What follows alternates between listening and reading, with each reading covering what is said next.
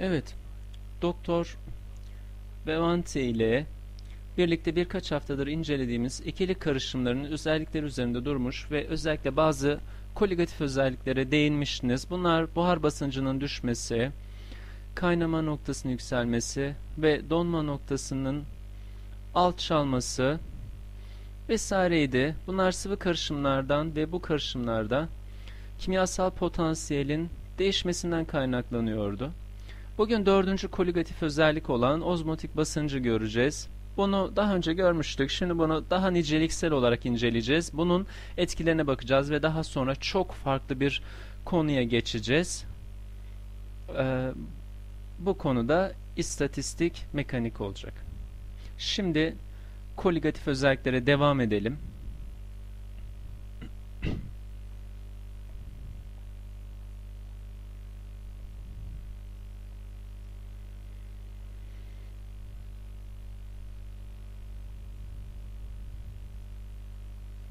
Ozmotik basınç özellikle biyoloji açısından son derece önemlidir. Biyoloji hücrelerde hücre içindeki çözeltide çeşitli maddeler mevcut. Bu maddeler son derece önemli çünkü bunlar suyun kimyasal potansiyelini değiştiriyor ve bu kimyasal potansiyel değişimde hücre içi ile hücre dışı arasındaki dengeyi belirliyor. Bu hemen hemen her organizmada söz konusu olan bir durum. Bu olay farklı alanlarda da çok sıkı çok sık bir şekilde kullanılıyor. Peki ozmotik basınçta ne oluyor? Ona bakalım. Burada su dolu bir kabım olsun. Ve bu kap içinde de bu tip bir yarı geçirgen bir zar olsun. Bu zar sadece bileşenlerden birini geçirsin. Diğerlerinin geçmesine izin vermesin. Bu su veya herhangi bir madde olabilir. Bu yaptığımı deney bu yaptığım deney tipik olarak şuna benziyor. Burada yarı geçirgen bir zarımız var. Bunun dışında da saf bir A sıvısı var. Bu su da olabilir, başka bir sıvı da. Hücre içinde ise A, B ve daha birçok bileşenler karışmış halde ve bu sistem bir sıvı içine daldırılmış. Burada A zarın içine ve dışına rahatlıkla girebiliyor tabii ki. Burada ilk gözlenen şey hücre içindeki sıvı seviyesinin gittikçe yükselmesi. Bu seviye çok daha yükselebilir tabii ki. Kısaca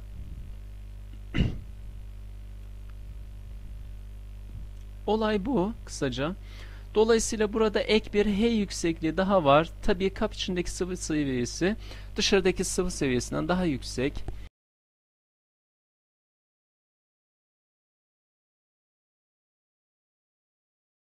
Bu da kap içindeki basıncın daha yüksek olduğu anlamına gelmektedir. Çünkü bu sıvı kolonu aşağıya doğru baskı yapıyor. Dolayısıyla kabın içindeki basınç dışındaki basınçtan daha yüksek. Bu gayet mantıklı çünkü burada basınçların aynı olması durumunda A'nın karışımdaki kimyasal potansiyelinin saf haldeki kimyasal potansiyelden daha düşük olması anlamına gelir. Dolayısıyla A'nın kabın içine hücum etmesini hiçbir şey önleyemez.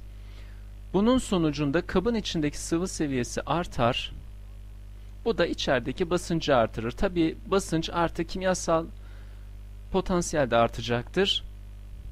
Bir müddet sonra denge haline erişilir.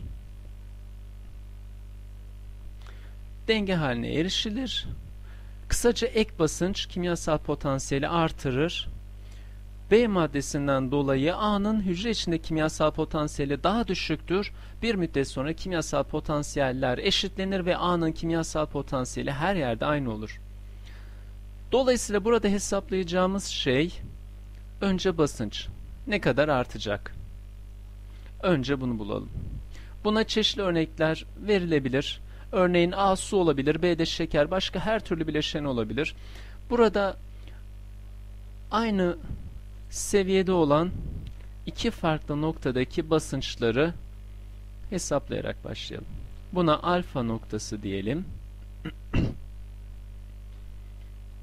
İsterseniz bunu renkli tebeşirle gösterelim.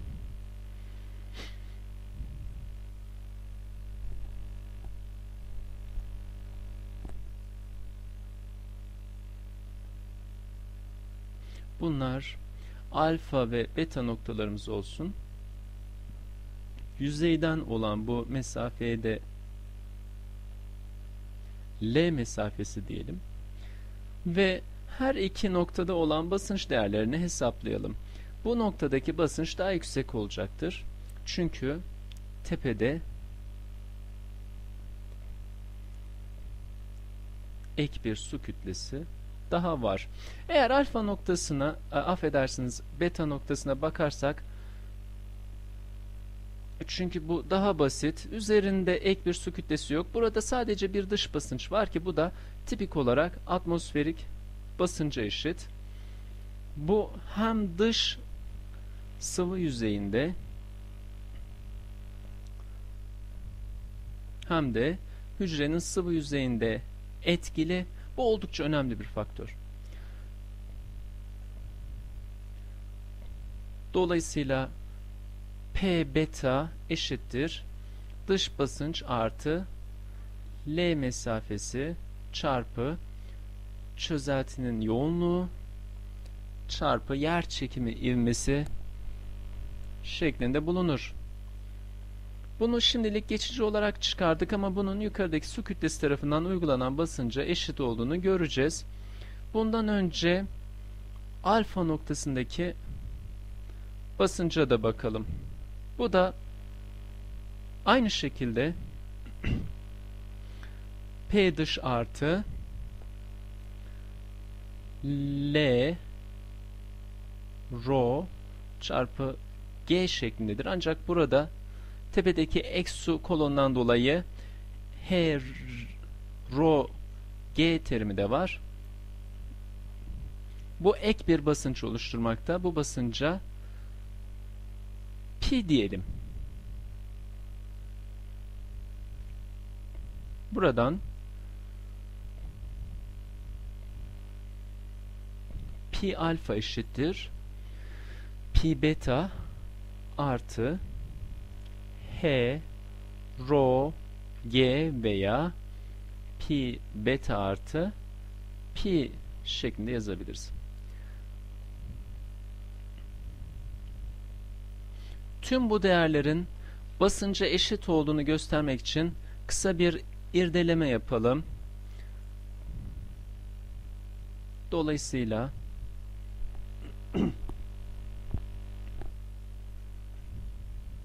L çarpı rho çarpı G basınç olup birim alana uygulanan kuvvet olmalı. Bu özellikle birim alanına uygulanan ağırlık olarak da yazılabilir.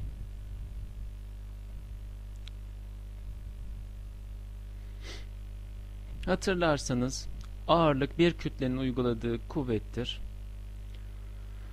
Bu kuvvet yer çekimi kuvvetinden kaynaklanır. Dolayısıyla bu denklemi irdelersek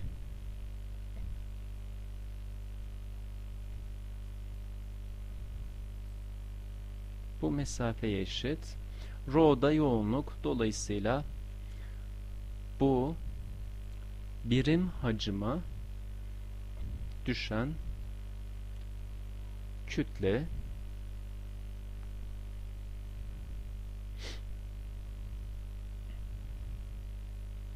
Tabi G terimi de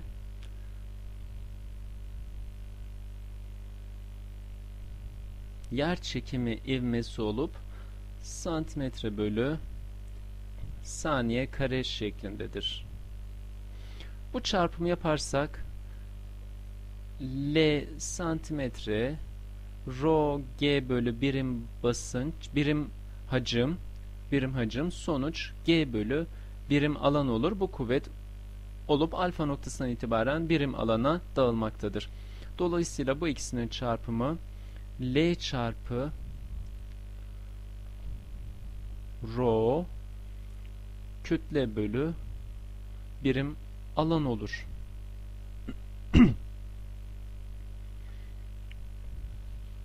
Dolayısıyla bunun birimi kilogram bölü birim, birim alan şeklindedir. Bunu yer çekimi ivmesiyle çarparsak bu üçünün çarpımı kilogram bölü metre saniye kare olur.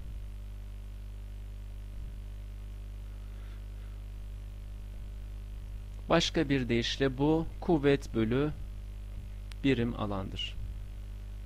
Aa bir dakika. Burada herhalde bir sıkıntı var. Hmm. Yo yo.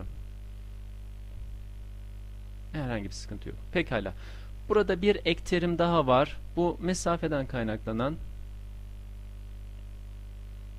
Peki.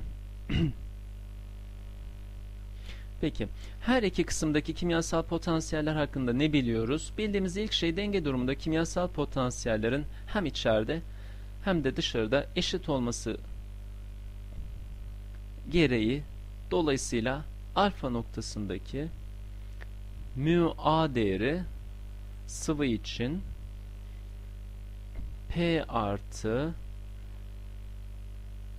pi basıncında ve T sıcaklığındaki mu a değerine eşit olmalı. Tabii ki bu da beta noktasındaki mu a değerine eşit olmalı ancak beta noktası saf sıvının içinde olduğundan bu direkt olarak sıvı için P basıncında ve T sıcaklığındaki mu a yıldız değerine eşit olur. Bu da beta noktasındaki kimyasal potansiyeldir. Bu da alfa noktasındaki kimyasal potansiyel. Bu ikisinin birbirine eşit olması gerekiyor. Buna göre Raoult yasasını kullanırsak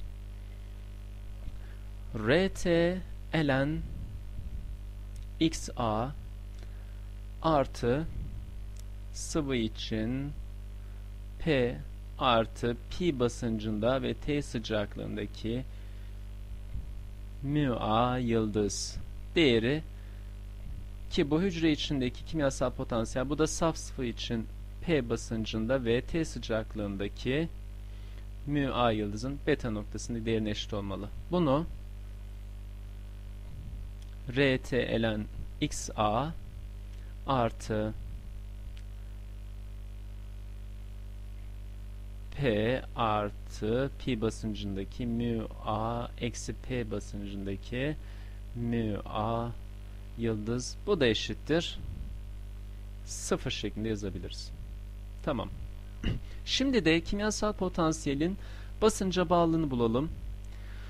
Bunun içinde bir ifademiz var. dg eşittir s dt artı v dp. Her iki tarafta da sıcaklık aynı olduğuna göre sadece farklı basınçlarda neler olduğunu incelemek yeterlidir. Dolayısıyla sabit T değerinde dg eşittir v dp olur. Şimdi kimyasal potansiyele bakarsak ki bu mol başına olan serbest enerjiydi. Mu A yıldız eşittir VA yıldız çarpı dp bulunur.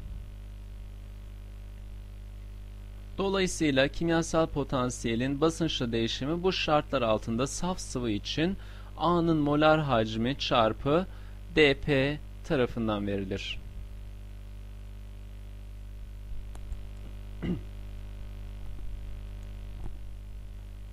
Bunun insanları güldürecek bir konu olduğunu hiç düşünmedim ama bilemezsiniz. Ama dönem boyunca benle birlikte olaca olacağınızdan haydi devam edelim.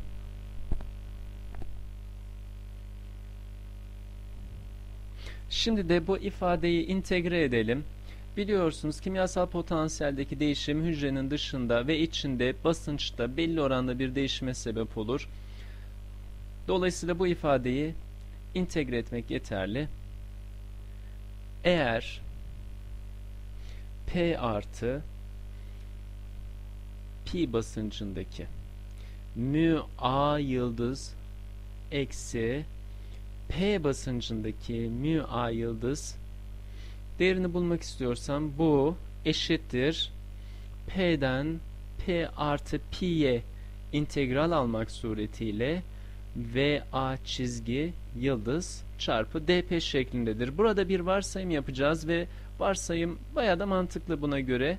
Bu değer yani A'nın molar hacmi değişmeyecek. Yani A'nın molar hacmi içerideki ve dışarıdaki basınç farkı ile pek fazla fark etmeyecek.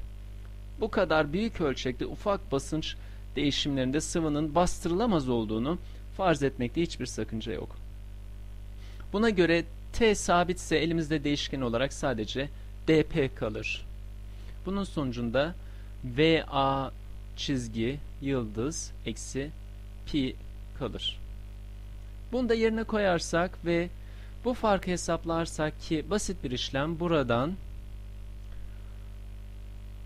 RT ln XA artı VA çizgi yıldız çarpı pi eşittir 0 bulunur.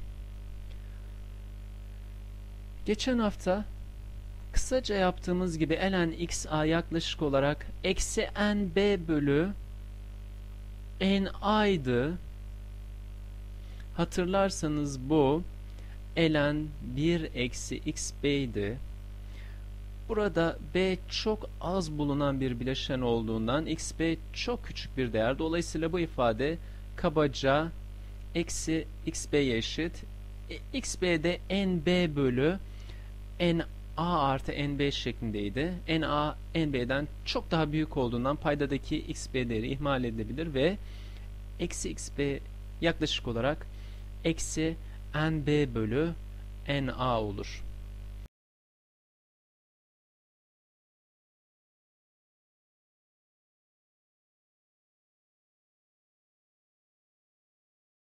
Dolayısıyla bunu yerine koyacağız.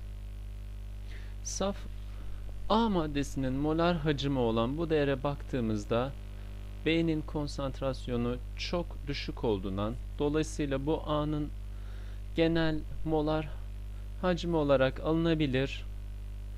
Yani VA çizgi yıldız eşittir VA yıl çizgi veya çizgi sadece çizgi yani basınç veya konsantrasyon ile molar hacmin değişimi olasılığını düşünmeyeceğiz. Çalıştığımız bu düşük konsantrasyonlarda N A çarpı molar hacim toplam hacime eşit. Ops. Çizgi yok. Bu molar bir değer değil. Molar değer bu mol sayısı ile çarpılınca A tarafından işgal edilen toplam hacim bulunur. Pekala bu iki sonucu kullanırsak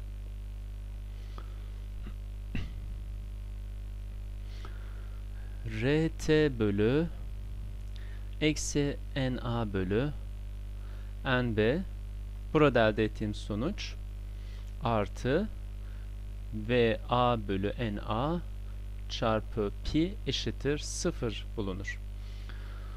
Burada NA değerleri birbirini götürür. Burada hemen hemen tüm hacim A'dan kaynaklanıyordu. Çünkü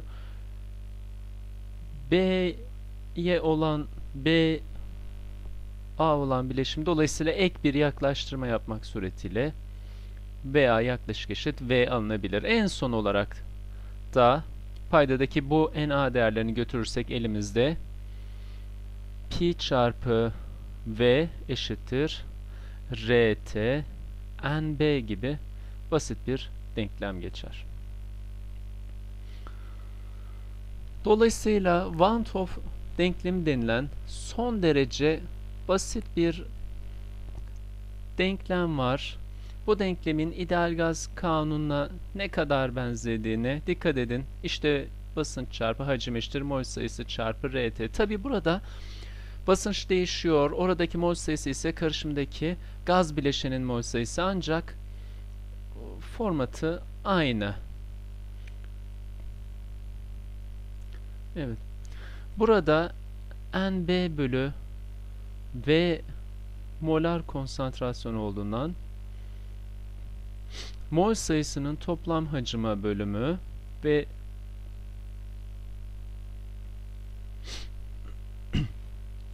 bu durumda pi eşittir RTC olup C çözünenin molaritesidir. Evet. Evet. Bir sorunuz var mı? Pekala. Şimdi bir sayısal örnek çözelim. Bunlar basit gibi görülebilir ama bazen bu problemle karşılaştığımızda işler o kadar basit olmayabilir ve sürprizlerle karşılaşabilirsiniz. Burada basit bir örnek yaparak bunları gösterelim. Elimizde 10 gram bilinmeyen bir katı olsun ve bu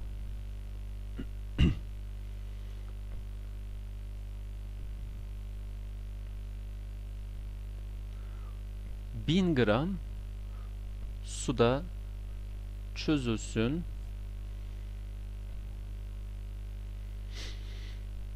Evet. Buhar basıncı 25,195 tor olsun 27 derecede.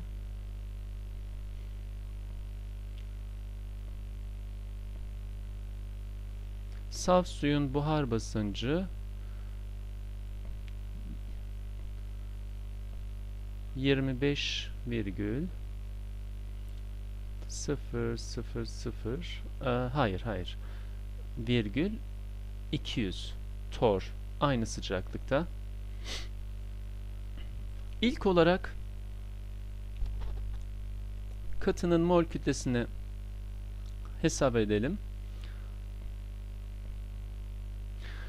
Bunu geçen hafta hesapladınız. Dolayısıyla bu sizin için zor olmamalı.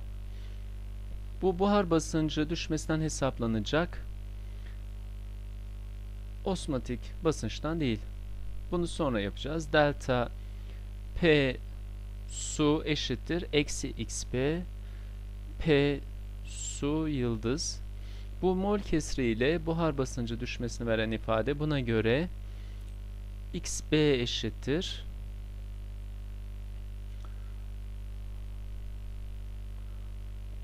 Sıfır virgül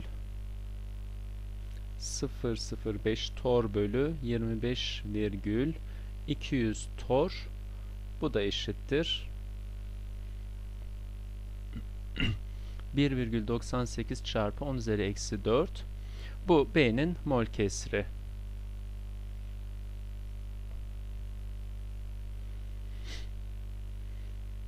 xb eşittir nb bölü na artı nb dolayısıyla 10 gram bölü mol kütlesi gram bölü mol bölü 1000 gram su bölü 18 gram bölü mol artı 10 gram bölü mol kütlesi gram bölü mol. Ancak çözelti büyük oranda sudan oluştuğundan bu ikinci terimi ihmal edip matematiği basitleştirebiliriz. Umarım görüyorsunuzdur. Bu da 1,98 çarpı 10 üzeri eksi 4'e eşitti. Buradan mol kütlesini çekersek 907 gram bölü mol buluruz. Burada geçen hafta gördüğünüz koligatif özelliklerden birini kullandık. Şimdi de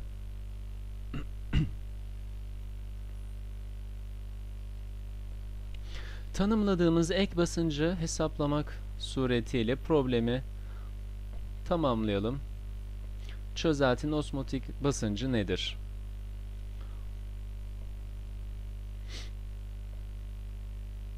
Burada sistemi buna benzer bir durumda olduğunu farz edeceğiz. Dışarıda saf su var.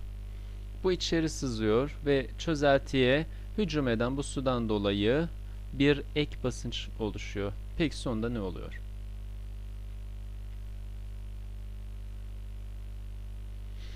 Yoğunluğu 0,995 gram bölü santimetre küp olarak alalım. Dolayısıyla pi eşittir RTC'ydi. Bu da eşittir 0,08314 bar bölü Kelvin mol çarpı 300 Kelvin çarpı C. C de eşittir NB bölü V. Bu da 10 gram bölü 907 gram mol bölü 110 gram bölü 0,995 gram bölü mililitre. Burada santimetre küp yerine mililitre kullandık. Bu da 1,09 çarpı 10 üzeri eksi 5 mol bölü mililitre olur. Bunu litre cinsinden bulmak için bunu 1000 mililitre bölü litre ile çarparsak bu 1,09 çarpı 10 üzeri eksi 5 mol bölü litre olur. Evet. Hesaplamada bir hata oldu galiba. Bakalım. Burada bir hata yok gibi. Hayır, sayısal değerlerde. Aa, evet, evet. Bu notlarda da böyle galiba. Evet. Sağ olun. Konsantrasyona baktığımız zaman epey küçük. 10 üzeri eksi 5 mol bölü litre ek basınç 0,27 bar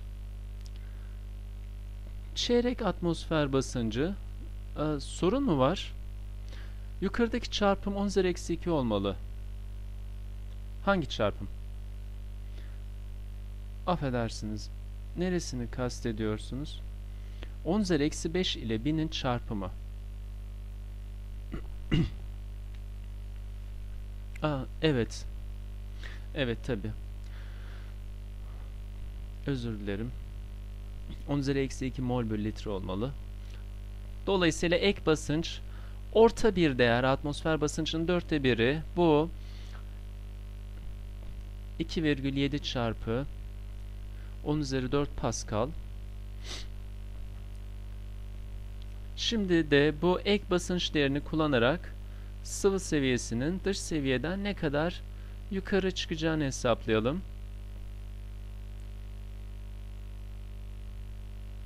Tahmin yürütmek isteyen var mı? 1 santimetre mi, 10 santimetre mi, 100 santimetre mi, hatta onun üstleri mi? Kim 1 santimetre diyor? 3 kişi. 1, 10 ve 100 içinde biri seçtiniz. Kimler 10 santimetre diyor? Kimler 100 santimetre diyor? Neyse ki problem setlerini veya pro, bilimsel problemleri oylama ile çözmüyoruz. Mümkün olduğu yerlerde sayısal olarak çözmeyi tercih ediyoruz. Çözelti kolonunun yüksekliği ne?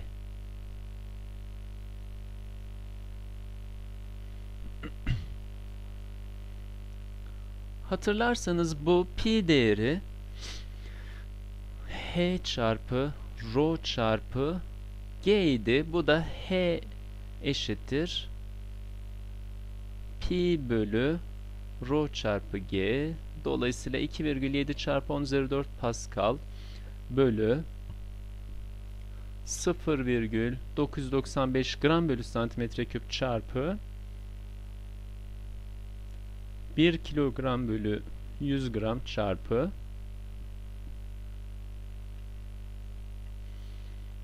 100 santimetre bölü metrenin kübü. Burada metreye döndürüyoruz. Çarpı 9,8 metre bölü saniye kare. Tüm bu işlemi yapınca bu değer 2,8 metre olarak bulunur. Buradaki herkesin boyundan fazla. Tam tepelerde bir yerde. Bu gerçekten tipik bir değer. Bu olay osmotik basıncı son derece hassas bir ölçem yön, ölçüm yöntemi haline getirir. Örneğin mol kütlesi tayin etmek istiyorsanız yükseklik değişimi çok fazla olduğundan bu değer son derece hassas bir şekilde milimetre seviyesinde ölçülebilir. Çok ufak konsantrasyonlarda bile bu etki epey büyük olduğundan bunu ölçüp katının ilgili özelliğini belirlemek hiç de zor değildir. evet. Herhangi bir sorunuz var mı? Evet. Pekala. Şimdi yeni bir konuya başlayacağız. Şu ana kadar gördüğünüz ve de umarım takdir ettiğiniz gibi termodinamiğin tüm yapısı, gelişi güzel makroskopik gözlemler ve çıkarımlara dayanıyordu. Olayları gözlüyor ve geniş kapsamlı termodinamik yasalar çıkarıyorduk. Bunların hepsi makroskopik olup hiçbiri hiçbir mikroskopik temele dayanmıyordu. Zaten birçoğu çıkarıldığında böyle bir mikroskopik temel filan da yoktu. Bunlar maddenin atomik modeli vesaire gibi hususlar daha ortada yokken türetilmişlerdi. Buna rağmen bu çıkarımların bu kadar güçlü olmaları olağanüstü bir şey. Mesela tabiatın çok önemli özellikler, özelliklerinden olduğunu bildiğimiz bazı kavramları düşünürsek bunların gücünün bir kısmı da bu deneysel temelden geliyor. Burada çok az sayıda temel yasa var ve her şey bunlara uyuyor. Tabi bunun sonucunda bu yasalara büyük bir güven ortaya çıkmış. Çünkü bunlar çeşitli şekillerde defalarca kanıtlanmışlar. Fakat aynı zamanda artık maddenin atomik yapısını da bilmekteyiz. Atomların ve moleküllerin varlığını biliyoruz. Dolayısıyla en azından prensip olarak doğanın mikroskopik yapısından başlayıp ve sadece mikroskopi özellikleri belirlemek suretiyle ve zaten benim makroskopi makroskopik yapım bu mikroskopik değerlerden oluşuyor diyerek makroskopik termodinamiği çıkarabilmem gerekiyor. Yani mikroskopik bir halden başlayıp termodinamik sonuçlar elde edebilmeliyim. Bu gerçekten mümkün ve bunun teorik çıkarımına istatistik mekanik adı verilmekte. İleride şaşırarak göreceksiniz ki bu istatistik mekaniksel inceleme zaten gerekli. Çünkü burada çün, çünkü mollerce madde miktarıyla uğraşacağız ama önce bunların mikroskopik özellikleriyle ilgileneceğiz. Böylece n mol madde miktarıyla değil n bölü 10 üzeri 24 mol madde miktarı ile ilgileneceğiz. Tabi her hali her an takip etmemiz mümkün değil.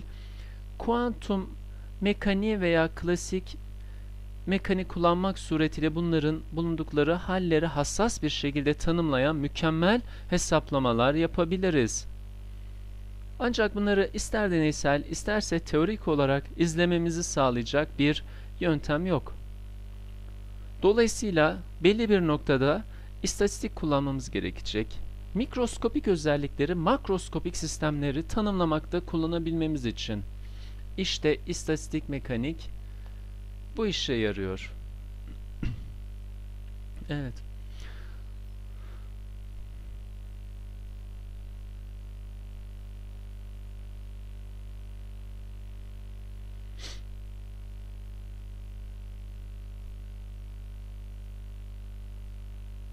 Şimdi biraz istatistik mekaniği tanıtalım. Burada mikroskopik özellikleri kullanarak makroskopik termodinamiği tanımlamaya çalışacağız. Amacımız bu. Pekala. Tek moleküllerin veya taneciklerin enerjilerini hesaplamakla başlayalım. Belli bir molekülün örneğin bu odada bulunan bir oksijen molekülünün belli bir enerji seviyesinde olma olasılığı nedir? Burada izleyeceğimiz strateji belli moleküllerin belli halde ve belli bir enerjide bulunma olasılıklarını belirlemek ve bunları tüm olası haller için belirlediğimizde bunları birbirine eklemek. Dolayısıyla her molekülü izlemek zorunda kalmadan ortalama enerjili hesaplayabiliriz ki termodinamik olarak yaptığımız işte budur. U olarak adlandırdığımız iç enerji değerini bulmak. Tabi burada atomların sahip olduklu, oldukları çeşitli enerjilerin ortalamasını alıyoruz. Bunların hepsi aynı moleküler enerjiye sahip değil ve biz de bu tek tek enerjileri ölçmüyoruz. Burada ölçmeye çalış, çalıştığımız şey bu. Her olasılığın ne olduğunu bulmak. Farklı enerji seviyeleri için ve daha sonra bunların istatistik ortalamalarını almak suretiyle makroskopik ortalama enerji belirlemek ve tabi diğer makroskopik değerleri de. İşte bir molekülün i halinde ve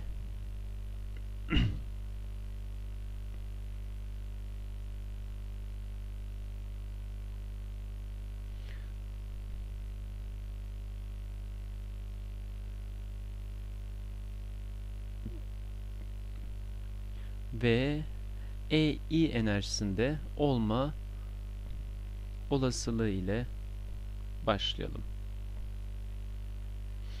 Bulunan Bulunulan halin şeklini bile tanımlayacağız. Örneğin taneciğin ötelenme enerjisini inceliyor olabiliriz. Hangi haldedir? Odada hangi hızla dolaşmaktadır? Veya dönme veya titreşim enerjileriyle veya elektronik haliyle uğraşıyor olabiliriz. Önce bu durumu belirtelim. Sadece EI enerjisine sahip molekülleri inceliyor olalım. Evet. Tamam.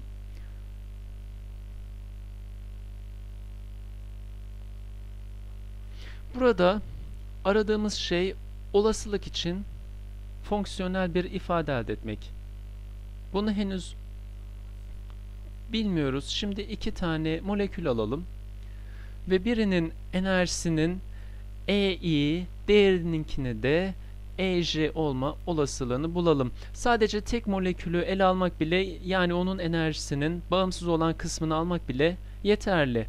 Örneğin şu yöndeki ötelenme enerjisi veya ve bu yöndeki ötelenme enerjisi. Burada önemli olan şey iki tane farklı enerji almamız. Örneğin birbiriyle etkileşmeyen ayrı moleküller veya aynı molekülün bağımsız serbestlik dereceleri. Şimdi bunlara bakalım. Dolayısıyla I halinde olan bir molekül var ve burada da J halinde olan bir başka molekül var. Enerjisi de EJ.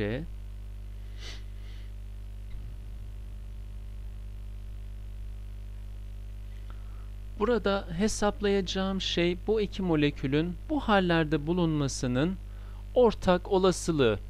Dolayısıyla olasılığı yazarsak bununki Pi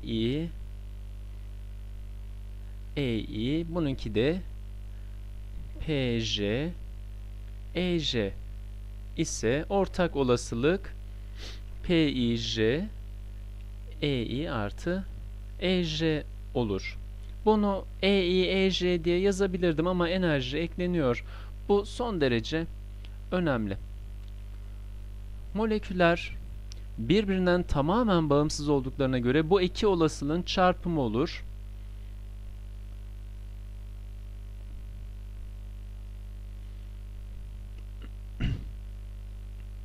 Evet. iki tamamen bağımsız olasılığı beraberce tespit etmek istiyoruz. Bu son derece basit bir fonksiyonel form verir. Burada söylediğimiz şey bir a artı b'nin fonksiyonunu alalım ve f a f çarpı f b'ye eşit olsun. f a f b'ye eşit olsun. Başka bir deyişle bu fonksiyonları çarptığımızda buradaki argümanların toplamını elde edelim. Peki hangi fonksiyonlar buna uyar? Üstel fonksiyonlar. Değil mi? Başka bir deyişle e üssü a artı b eşittir e a çarpı e b. Dolayısıyla bu olasılığın üstel bir şekilde değiştiğini söylemektedir. Sadece söylemektedir.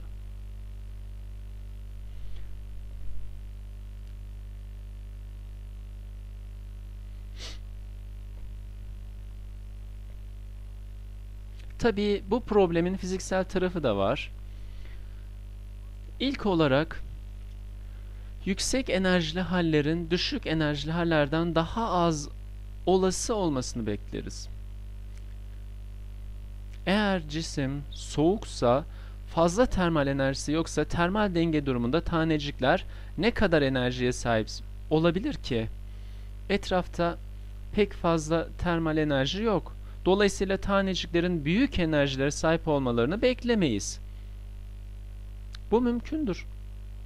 Bazı taneciklerin gelişi güzel çarpışmaları sonunda bu taneciklerde enerji birikmesi olabilir. Fakat genel denge durumunda bu pek fazla olası değildir. Düşük enerjiler daha olasıdır. Burada en önemli husus bu konuyu düşünmeye başlar başlamaz akla hemen sıcaklık geliyor. Sıcaklığı artırınca tabii ki çok daha fazla molekülün enerjisi artarak daha yüksek enerjiye sahip olacaktır. Dolayısıyla yüksek enerji olasılığı düşük olmasına rağmen sıcaklık arttıkça bu olasılık yükselir. Yani burada enerji bölü sıcaklık oranı önemli rol oynamaktadır. Dolayısıyla sıcaklık artarsa P EI değeri aşağı düşer ve bu EI bölü T oranına bağlıdır.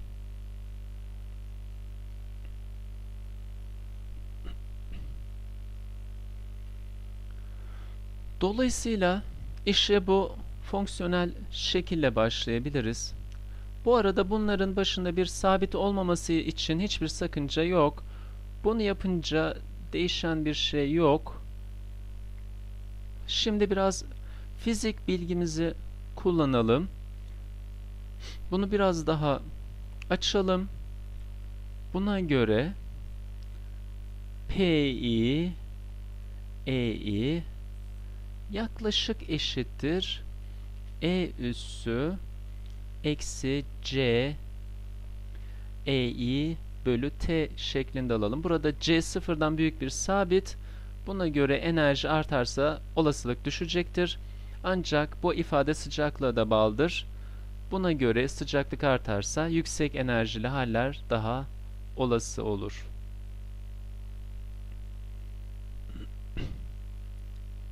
Evet. Güzel. Bu olasılık için olan fonksiyonel ifade molekülün EI halinde bulunması için bunun ile genel ifade arasındaki yegane fark bu sabitin Pi Ei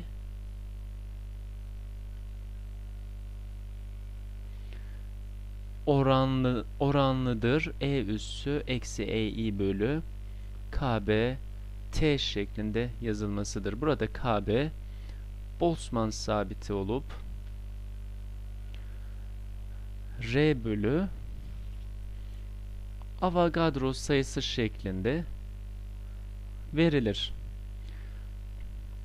Başka bir deyişle bu mol başına olan gaz sabiti yerine molekül başına olan gaz sabitidir. Bunu daha anlaşılır hale getirmenin bir yolu da siz daha Arrhenius kinetiğini görmediniz değil mi? Arrhenius hız yasası. Bunun nasıl olduğunu hatırlarsanız Arrhenius hız sabiti E üssü eksi EA bölü RT ile oranlıydı. Bunu daha önce görmüş müydünüz? Peki bu neyi gösteriyor? EA, buradaki EA aktifleşme enerjisidir. Hatırlarsanız tepkenlerle ürünler arasında bir bariyer vardı reaksiyon olması için. Dolayısıyla hız bu aktivasyon bariyerini geçebilmeye bağlıydı. Bu ifade de aynen bunun gibi aynı mantıktan kaynaklanmaktadır. Bir molekülün bir bu miktar enerjiye sahip olma olasılığı E üssü eksi E A bölü RT şeklindedir. Ancak burada R değeri mol başına alınmakta. Kinetik hız kaç tane molekülün bu enerjiye sahip olduğuna bağlı olup bu da bariyeri aşmak için gerekli enerjiye sahip olma olasılığıdır. İşte bu enerji de bu ifade ile verilir. Dolayısıyla bu denklemde benzer bir ilişki göstermektedir. Tamam.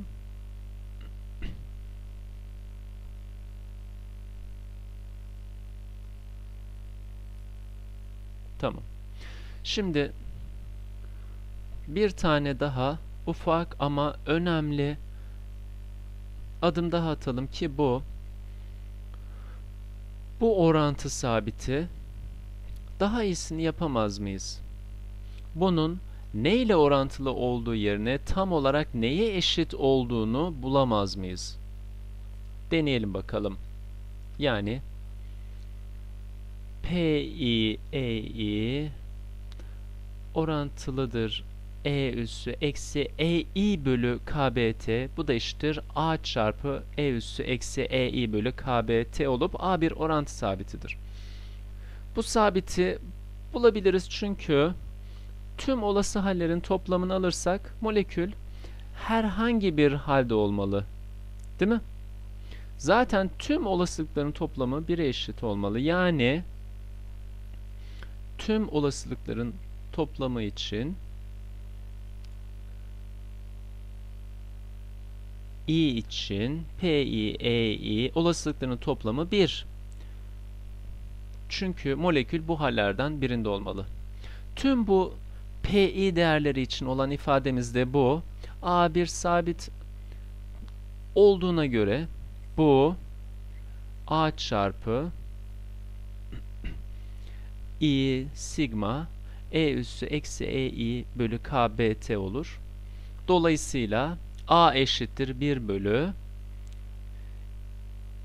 i sigma e üssü eksi ei bölü kbt olur. Buna göre pi ei eşittir e üssü eksi ei bölü kbt bölü sigma e üssü eksi ei bölü kbt olur.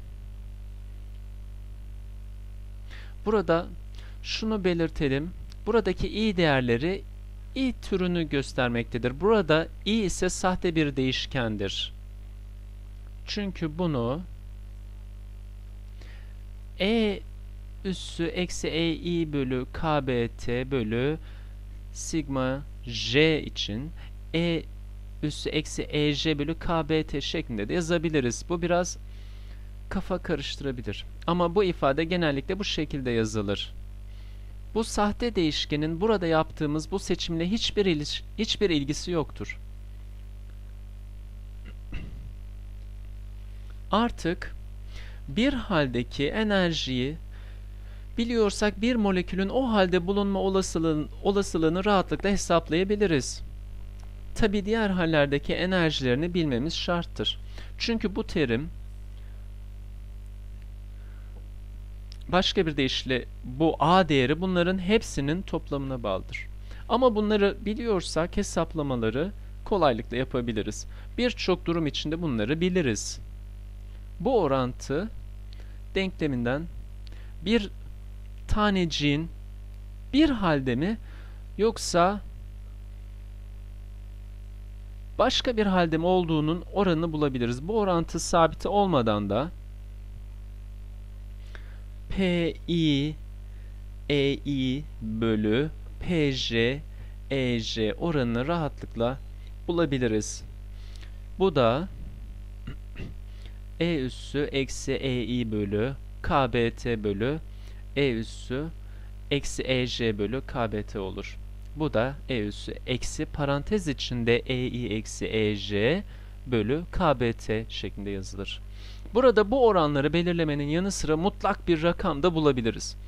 Bir molekülün verilen bir enerjiye sahip olan bir halde bulunma olasılığı olarak.